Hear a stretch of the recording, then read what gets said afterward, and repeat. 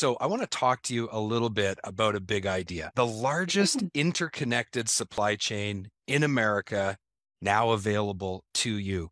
Mr. Seewack, tell us a little bit of the story of how you came up with this big idea and why you felt it was needed. Well, thank you, Jamie. So I'm a parts professional myself, even though people would say I'm not the best counter person. I was in the brick and mortar business, and what I saw in my business was with our customers, very often they come to the counter for a part that we didn't have in inventory. And that process of locating a part was very complicated. So I saw the opportunity to build an e commerce site, and we were looking to build the largest interconnected network of suppliers to provide the greatest amount of SKUs for parts professionals that are looking for them. And they have their normal customers or distributors they do business with, but that distributor doesn't always have the part and the distributor themselves don't have all the parts. So I wanted to make an easy solution for people to look for a part and find it with ease and have the largest amount of suppliers geographically located to get the part to them quickly.